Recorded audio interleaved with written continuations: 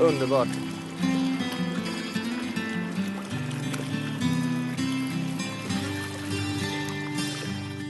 Nästan uteslutande talar man om torrflugor i samband med CDC.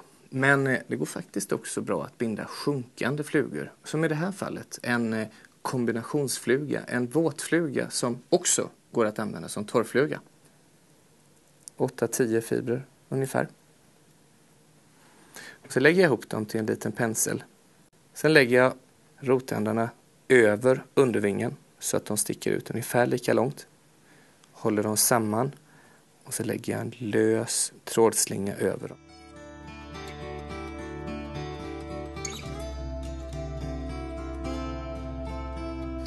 Jag använder en slags kombinationsteknik där flugorna först kastas uppströms och sedan låts drifta med strömmen ned över.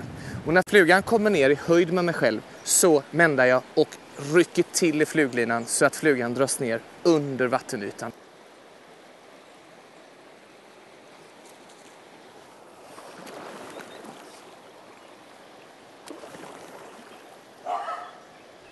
Den här gången är det en regnbåge som har tagit flugan och nu gäller det att vara med på noterna.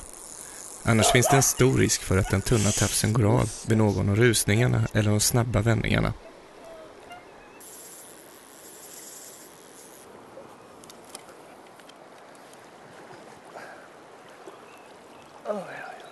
Oj, oj, oj, oj. Jösses vilken fisk. Mm. Oj. Kombiflugan. Ja, fantastiskt.